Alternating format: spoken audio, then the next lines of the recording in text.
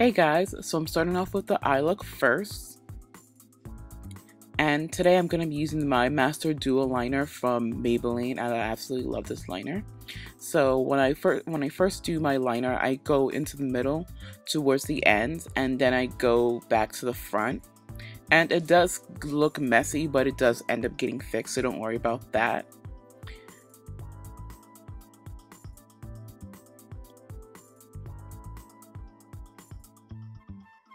And the way I do the wing is I make sure to go a little bit past the crease and then I bring it back down.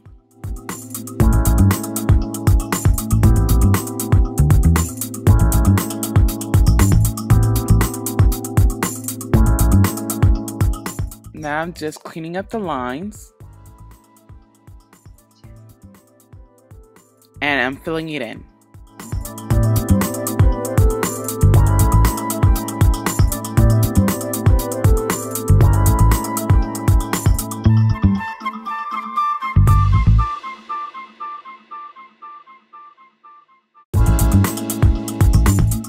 Okay, so this is how it looks when both eyes are finished. And now I'm going to use my Amuse liner in metallic pink. And I'm going to put that above the eyeliner and just make sure I can clean up the lines a little bit more. But you don't have to do this. This is just optional.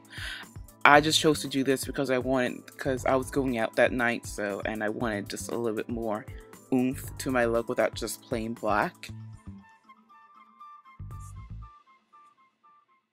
Okay, and this is how it looks with the pink on there. Now I'm going to be using NYX glitter liner, and this is in crystal glitter. I think this is crystal glitter, but it's just a clear glitter liner. And just put that on top of the pink liner.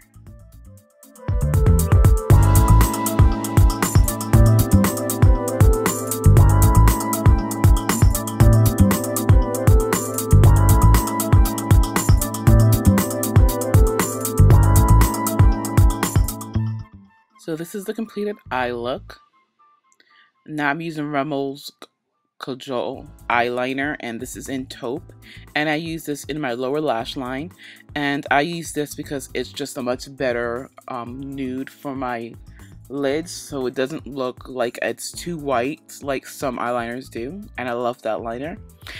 Now I'm using Milani's Grand Miso Lashes mascara that I won in a Twitter giveaway and I put this on my top and lower lash line and I only used one coat.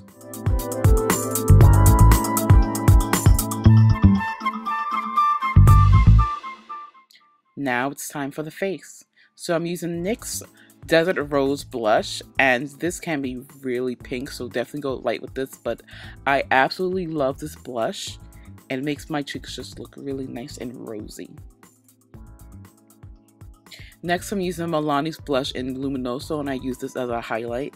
And I put this on my cheekbones, my nose, my cupid's bow, and my chin.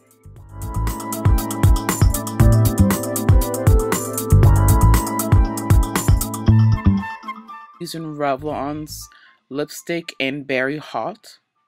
And I absolutely love this lipstick. It's just a really nice, brightened purple.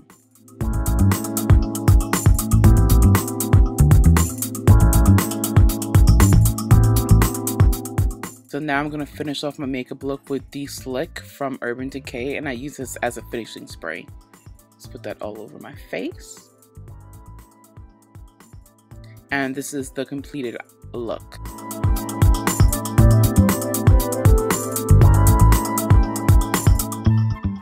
So hopefully you enjoy this look. Please comment, like, subscribe, and I will see my later ones. Bye guys.